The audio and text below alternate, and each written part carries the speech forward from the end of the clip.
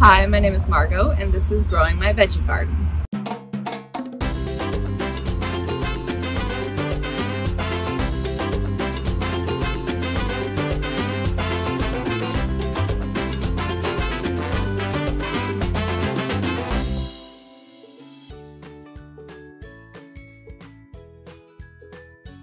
Hello, everyone. Welcome back to another episode of Building My Veggie Garden. Today, we have the pleasure of introducing our new gardener, Margot Pomeroy. She's an environmental scientist and a permaculturist. What is an environmental science? That's a good question. It is the field of science that studies the effects and relationships of the physical, chemical, and biological aspects of the environment to bring solutions to climate problems that we all face. What does an environmental science do? One of the biggest and most important things that environmental science is doing is helping to recycle solid waste. This is an issue because landfills in our urban areas are being exhausted and we need to find new ways to dispose of our trash. And what is permaculture? It is a philosophy aiming to create garden designs inspired by nature to make food production easier and more sustainable. The designs are based on science and are meant to be adaptable, productive, and restorable. What are the benefits of permaculture, you may ask? It supports the environment by keeping your garden chemical free. And in other words, it uses natural resources to get rid of pests, weeds, and molds. Permaculture also helps reduce the amount of trash we send to the landfills by recycling it. I've actually had the interesting um, experience of studying environmental science and having a permaculture certificate of design without having a lot of practical gardening knowledge. Uh, and you find there's so many nuances. You have to learn, you know, different pests that are local to you, diseases, uh, and just getting a sense for every individual type of plant and even sometimes variety that you want to put in your garden. What are the benefits of growing your own vegetables? It is better for the environment because it reduces our carbon footprint and it reduces the need for plastic and chemical pesticides. Growing your own veggies also helps you in a personal way by improving your mental health and well being. This is my veggie garden. We're here in St. Pete, Florida at a community garden locally. I have this plot with my two friends and it's lovely sharing responsibilities and building community. And we're just about entering our first full year of gardening here.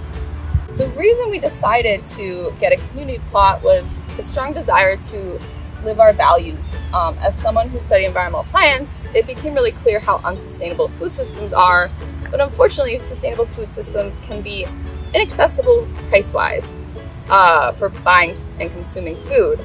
Uh, so, you know, we got this garden plot and it turned out into this beautiful experience and we end up getting so much more from our garden than just food.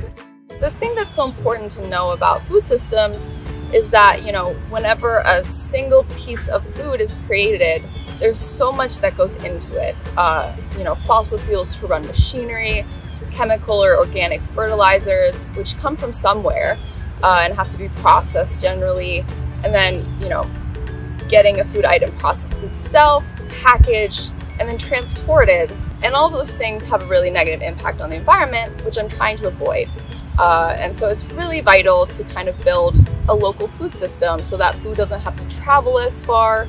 There's more connection with people, you know, the environment, wildlife, uh, kind of a whole systems approach. And that's really something that uh, was so important to me while studying both environmental science and permaculture. Uh, and it's something that's been really lovely to finally experience um, for myself. Because uh, gardening uh, can be limiting uh, if you don't have the space for it. And so that's why having a community garden locally is such an amazing opportunity.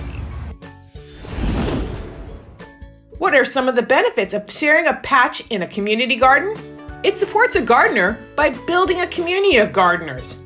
It helps by sharing the duties of taking care of the garden.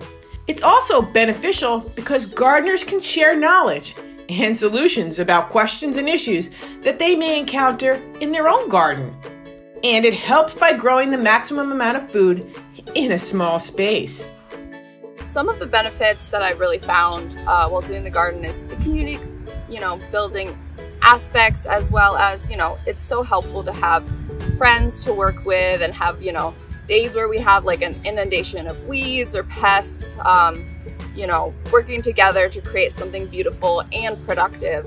Uh, and that's a big part too with rising food costs. It's so nice to know that I can enjoy fresh food without having to worry uh, and I can make the food I have stretch a lot more uh, without having to visit the grocery store and again leading to those kind of climate related aspects um, of our food system.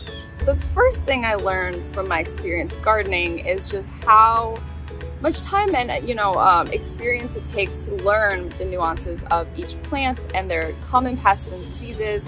Uh, and on top of that, it was very jarring gardening in uh, Florida, which I've never really studied before because we have a unique climate uh, and a lot, a lot of pests because we don't have a winter die-off the way that most states up north do. Um, so learning kind of what those best, often more tropical varieties of plants and less so common varieties that you would find in your, you know, grocery store. Uh, and then on top of that, you know, how to manage the plentiful pest populations that we have. So that's been our biggest struggle here in the garden. Um, as you can see here, we have um, aphids, which are actually interestingly a flying variety of aphids and those can kind of damage the leaves over time and create kind of a rust uh, appearance.